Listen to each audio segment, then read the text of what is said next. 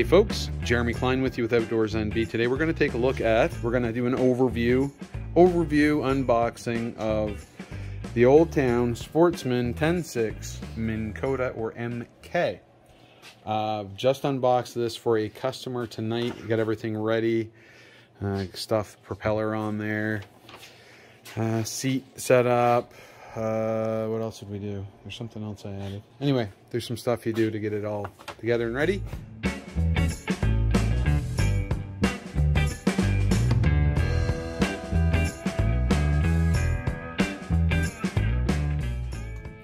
Kayak comes equipped with a full-size battery box, which is placed under the seat, providing more in-hull storage space up forward over the traditional placement of Old Town's previous electronics battery bag.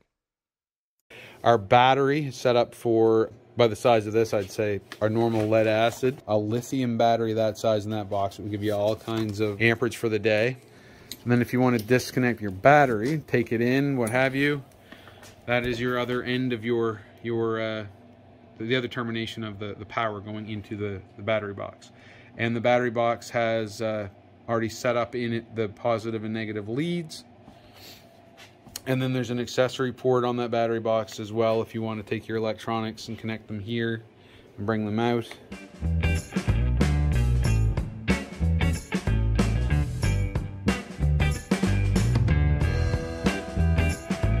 So we have dry storage compartment in the front. It's, all it is is access into the hull.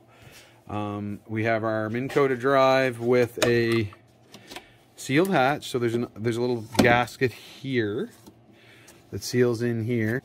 That is on this little Minn Kota drive. So you have a little storage between your legs.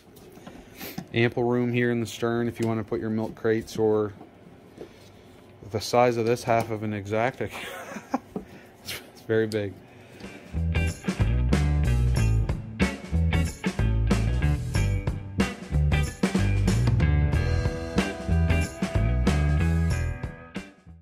Kayak also comes equipped with a fairly new feature from Old Town, and that's through hull wiring kits. Three of them to be exact. One beside the motor's wiring connection point, and one at the bow end of both forward flush mount rails, allowing for a much more seamless and clean electronics install for those of us that don't appreciate wires in the way as we're fishing and hunting.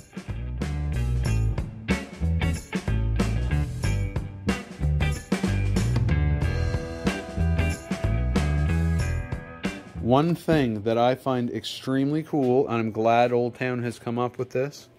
I've got to look at the, the 120s and the autopilots and stuff, but in the past with the Predator, uh, PDLs, and some of the other models, if I didn't want to have my motor, I would have to buy a, a, a plug basically for the hole that the motor goes in. The 10.6 Sportsman Minn Kota has a plug right here stored front of it, back of it when it's put in where the motor goes, and then it makes up some of the storage capacity, I guess. It, it, it, it, it sits flush in here and stored there. Very cool idea. So we have that. That's fairly new, new to this, you know, as this model came out.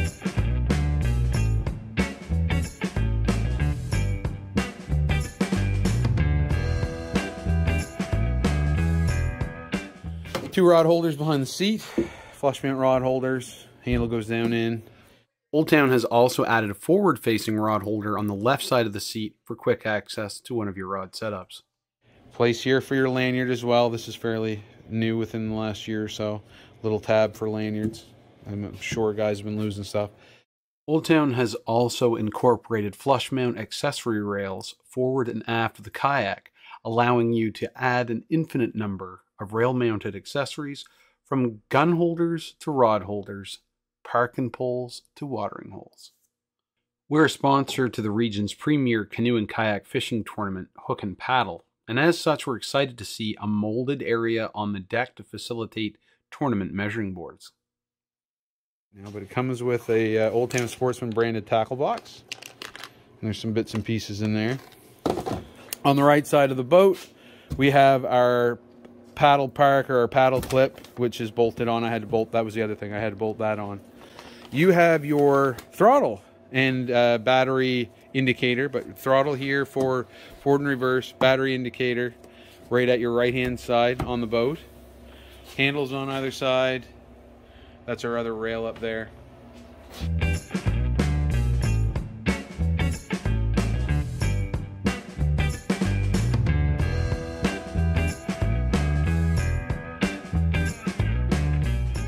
So at the stern, they have molded in a spot for shallow water anchor mount. So that would be your not park and pole. Parking pole can go down in through here, but but there's a powered shallow water anchor that mounts to this. Um, and there's a brand that's really popular, and it's just not coming to my mind. But anyway, that mounts here. There's there's uh, mounting stuff for that already in place.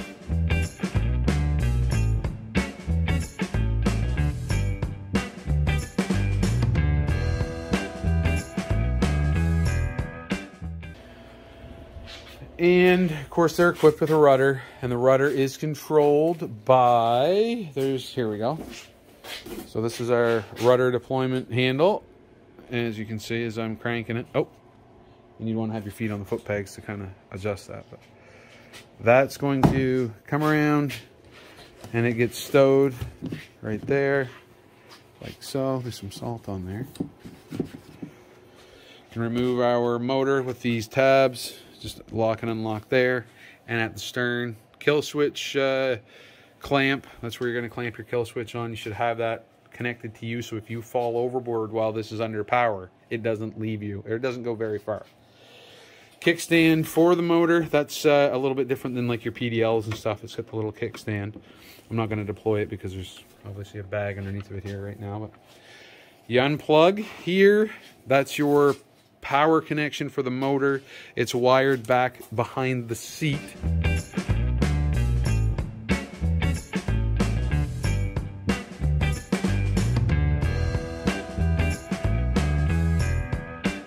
And we have a spot up front for your depth or uh, fish finder. Uh, your if you're gonna go with JOI stuff, uh, you'd be your your uh, come on humminbird Humminbird uh, fish finder. You'd mount it here in this area.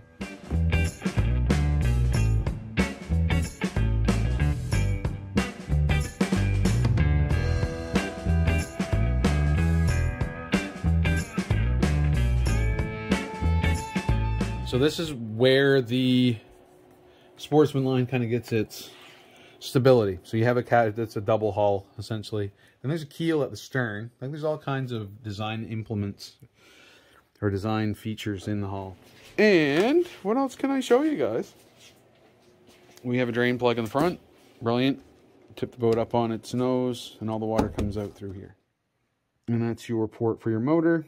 You got to make sure the propeller is in line with the motor when you put it down and, and bring it up uh, or it's going to, you'll break your fins off. And if you have any issues with fins, if you do something like that, or you hit a rock real hard, break a fin, break a uh, propeller, we have all kinds of propellers instead of boxes of propellers over here. So Minn Kota ones and PDL. So guys, that's basically an overview. Uh, there's a few other little features, I guess, here. Little compartments and whatnot. But that's basically it. You have your sportsman seat, which is adjustable as well. Now, for those of you with a really keen eye, yes, the Sportsman 10.6 is a rebrand of the Topwater 10.6. The main differences being color options, the seat, the Sportsman is equipped with a new molded-in handle at the stern, and of course, the Topwater is not available in a Minn Kota.